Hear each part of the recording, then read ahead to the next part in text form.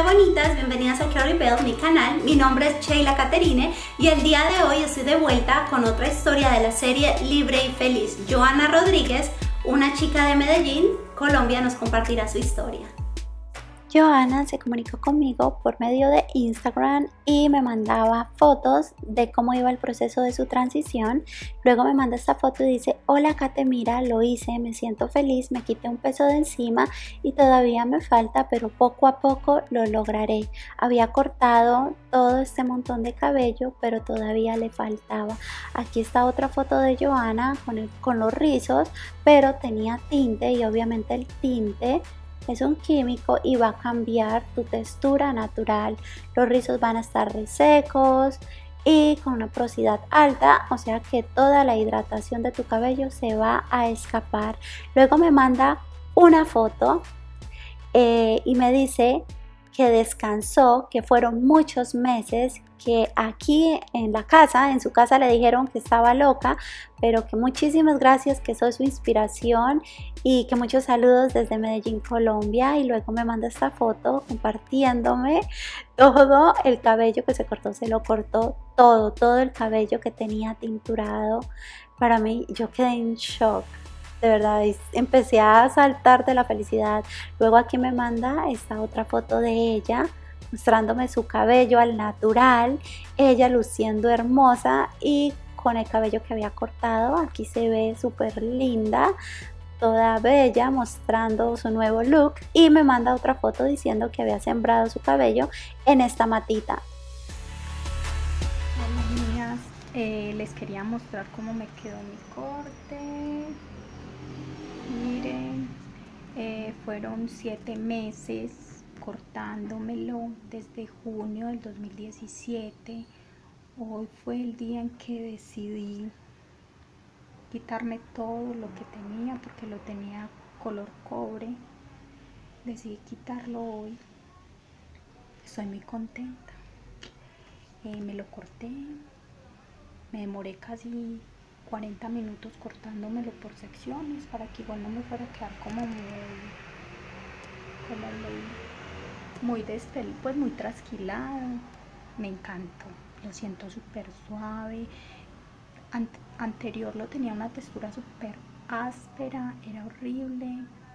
No se preocupen por el que dirán. Es más, a mí ya me dijeron que parezco una loca.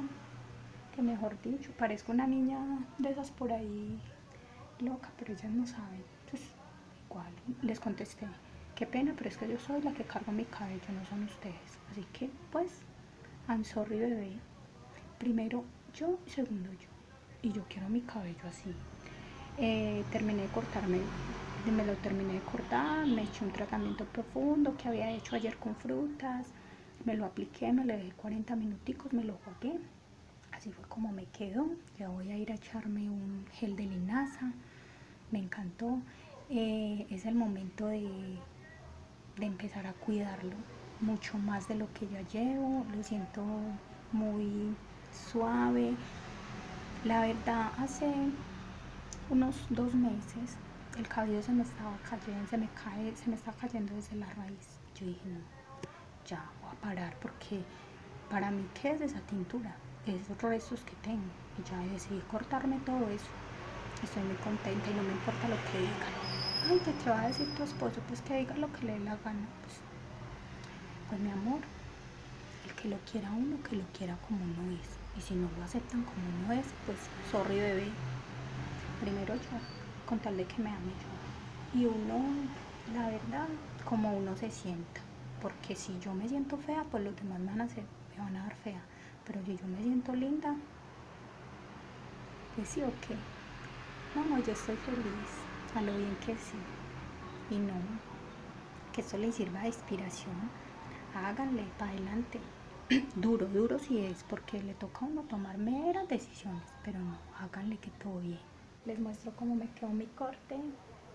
Eh, me lo corté esta mañana, me quité demasiado cabello, eran siete meses de transición de color, porque llevaba ya cuatro años en con el cabello crespo, me quité la reserva estoy con el cabello ya natural, estoy muy feliz, muy contenta, aunque acá en mi casa me dijeron que había acá como una loca, que había quedado horrible, pero la verdad, lo único que les pude decir fue, pues lo siento bebés, pero pues yo soy la que va a cargar mi pelo y yo soy la que me quiero como soy y como yo me sienta los demás me van a, me van a mirar y si no les gusta pues yo me siento feliz y estoy muy contenta con mi corte espero que ahora que se me seque me va a quedar así súper esporboreadito como me gusta a mí de hecho a mí me encanta el cabello corto entonces tampoco es que ay me muera no y siento que el cabello crece súper rápido es más, todo lo que me corté porque fue demasiado,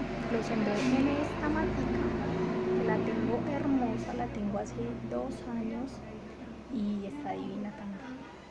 Niñas, que para adelante, que sea lo que Dios quiera y no se preocupen, el cabello crece si es bien cuidado, con más razón mi cabello crespo. Mm, me quité totalmente la licer, pero no hice nada porque empecé otra vez nuevamente a tinturarme Espero les sirva de inspiración. Estoy muy contenta, me quedó muy suavecito. Eh, me acabé de aplicar el de linaza. Estoy muy contenta. Ok, ok, mis bonitas, ¿qué tal les pareció la historia de Joana? A mí me encantó, aparte de que admiro su personalidad, ella tiene un carácter y una actitud, de verdad, es una inspiración para muchas. Y me fascinó cuando dijo, hágale que todo bien, Hágale que todo bien, ser usted misma no pasa nada, no le está haciendo daño a nadie, no te estás haciendo daño a ti misma, no te estás haciendo un cambio extremo, pues lo radical del mundo, oh my gosh, ¿qué se hizo esta chica? No, estás volviendo a tus raíces. Tu cabello es una muestra de tus raíces, tu ADN y así tú te hagas lo que te hagas en ese cabello para cambiar su textura, tu cabello va a nacer, va a volver a crecer como es, crespo, rizado, ondulado, afro, como es, como tiene que ser. Tú eres libre de hacer lo que quieras con tu cabello, pero es triste que abusas de tu cabello natural, que es una bendición, es tu velo, y llega un momento en que te quedas con tres mechas de escoba, con tres pelitos, y te preocupas. ¿Por qué? Por el abuso de la plancha, por el abuso de los químicos, en fin, que si la queratina gastas un montón de dinero y tiempo planchándote el cabello para conseguir el liso perfecto, por favor nada de frizz. O sea, eres una esclava, una esclava de las marcas, una esclava de los productos, de los químicos. No, sé tú misma, sé libre. Qué pereza estar gastando dinero ahorrando dinero para hacerse la queratina, no sé, cada tres meses, que es un montón de formol y te estás envenenando lentamente, te estás echando el veneno tú misma, eh, estás pagando para que te maltraten tu cabello y te, Dios no lo quiera, te dé una alopecia. No te pongas a estar pensando en el qué va a decir la gente, les, les va a gustar o no, ¿qué importa? Pues que la gente te va a dar a ti para el médico, cuando Dios no lo quiera, te dé una alopecia de tanto abuso de químicos o del calor. La gente te va a dar para los tratamientos, la gente te va a dar para las vitaminas, para que tu cabello vuelva y renazca. No, ¿cierto? Entonces, ¿qué importa lo que la gente piensa? Sé tú, cierra los ojos y dices, voy a tomar la decisión, voy a empezar a cuidar mi cabello tal y como es. Como es hermoso un cabello rizado, un cabello ondulado, un cabello afro natural.